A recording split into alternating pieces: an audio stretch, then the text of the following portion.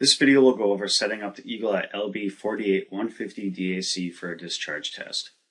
Aside from optional current and voltage accessories, this video can be used as a guide for setting up all LB series load banks. Shown are the main components of the load bank. The LB48150 DAC comes with the following components. A set of discharge cables, which are used to put the load on the batteries during the test. An AC power cord Voltage test leads which are used to display total string voltage. DACs or data acquisition case which display and monitor voltage on a cell level. The number of DACs used depends on the model and application. The COM terminal, which is used for wireless communication between the load bank and the PC. This allows for real-time viewing of the discharge test. Finally, the DAC test leads, which connect the DACs to the batteries. There are two types of leads, one for 2 volt cells and one for 6 and 12 volt cells. The first step to setting up the load bank is connecting the discharge and voltage cables from the load bank to the battery string.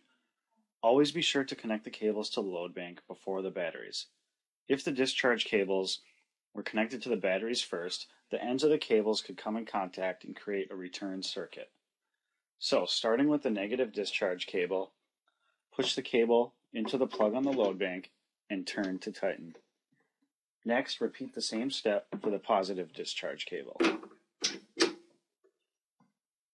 Once the discharge cables are plugged in, then plug in the voltage test lead cable.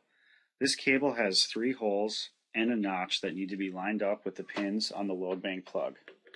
Simply line up the holes and push the cable in.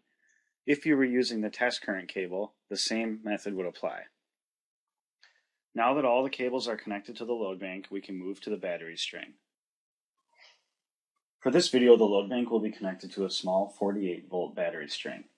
For connection of the discharge cables, there are two options. By default, discharge cables will have clamps connected.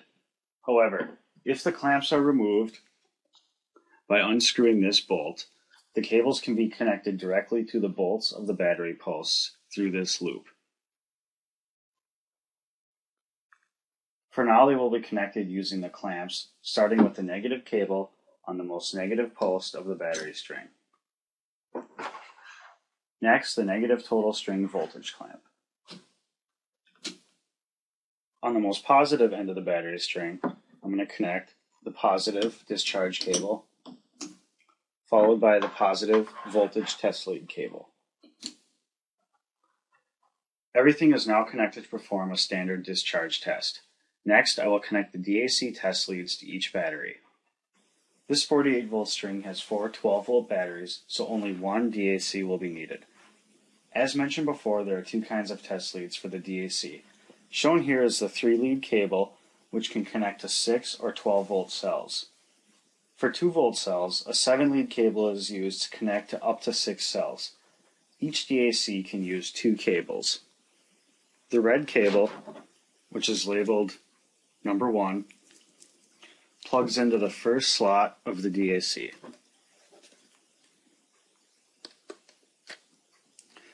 Then the black cable plugs into the second slot.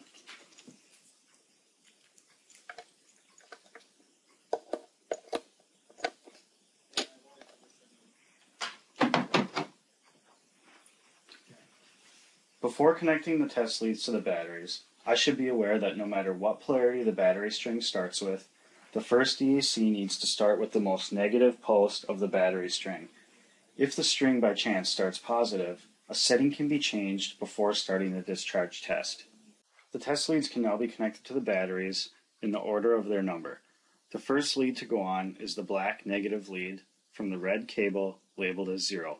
This will go on the most negative post of the battery string. Followed by that is the next red lead, labeled as 1, which will go on the positive post of the first battery. After that is the next positive lead, which will be labeled as 2, and this will go on the positive post of the second battery. For cable number 2, the pattern starts over by connecting the negative lead of the black cable to the negative post of the third battery.